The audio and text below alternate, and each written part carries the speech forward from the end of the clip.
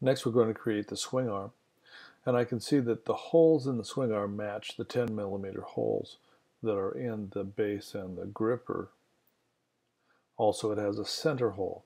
Overall thickness of 9 around each of the bosses that go with the holes and the center part has a uh, thickness of 5. So if I wanted to uh, extrude this part from a mid plane I would have to have a plane four and a half millimeters above the established surface. To start the sketch of the swing arm, I need a new sketch plane. I'm going to create a sketch plane. This is going to be offset from the top surface of the gripper. So the distance of offset, I can see it's going above it. I want this to be 4.5 millimeters above that surface so that when I extrude my sketch using symmetric, it will be above and below that plane. So I'll accept this and you can see that it's created that plane uh, in my feature list. So we'll start a new sketch, we'll put it on this plane. I'm going to view normal to the sketch plane. And in this case, there's some geometry that I want to use that's already existing. So I'm going to project it onto this sketch plane. So both of those holes will be uh, geometry that I want to use. So with this done, I'm going to create a construction line or a center line from the center of this hole to the center of this hole. I'm going to use the slot tool that's under my offset and when I click on this center line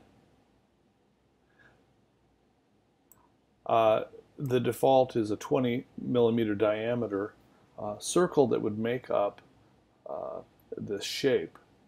And I'm going to accept that by hitting enter on the keyboard. I need a few circles here. Uh, I'm going to go to the midpoint of my center line and snap this circle to the outside edge and then add another one in the center um, I'm going to say that this is going to be equal to this other circle so that they're all 10. Uh, also I need for the boss I'm going to need a circle here. I'll snap that to the make that tangent. And with that I've created all of the geometry that I need for the sketch so I'm going to choose to extrude, and in this case I want to extrude all of these areas. This is going to be the center part of the swing arm. This has a depth of 5 millimeters and I want this to be symmetric so it's both above and below the uh, sketch plane. We'll go ahead and this is going to be creating a new part. We'll notice that it's created part number three down here.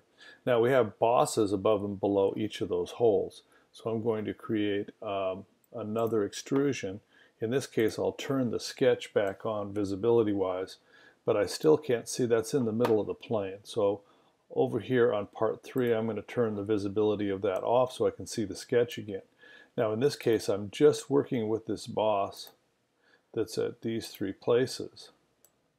And these are not going to be new. I'm going to actually add these and the merge scope is going to be part 3. These are B symmetric, so it goes above and below, and it has an overall um, extrusion. This is 9.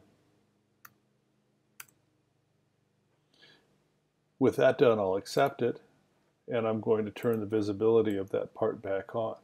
So I can see that this swing arm actually just rests on top of uh, my base and my gripper. Now part of the power of creating these parts in context with each other is that if I were to go back, for example, now and edit sketch 1, this distance of 100 between the gripper and the base, if I were to change this to, for example, 140 millimeters, you can see that the swing arm automatically has been updated uh, for that because it's based, the uh, sketch for the swing arm is based on the underlying geometry of the other parts. So they automatically update. I'm going to undo that.